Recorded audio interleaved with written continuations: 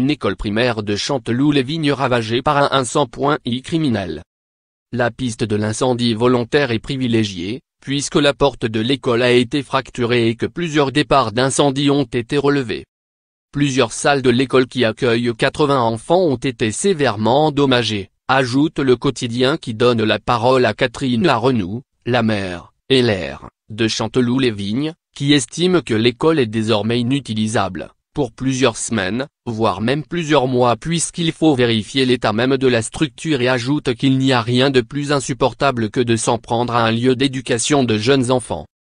École incendiée à Chantelouple, quand on vous dit que l'éducation est une priorité pour nos quartiers, qu'un enfant https oblique oblique t.co oblique 23 piste 3 axos.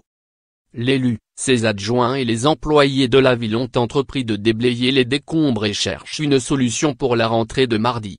Elle a exprimé sa colère sur Twitter, faisant écho au sentiment des lassitudes de Stéphane Gatignon, maire écologiste de Sevran, Seine-Saint-Denis, depuis 2001, qui a démissionné de ses fonctions, usé par le mépris de l'État pour les banlieues. Lire aussi. Le maire de Sevran démissionne pour protester contre l'insuffisance des politiques publiques en banlieue. Après l'annonce de la démission de M.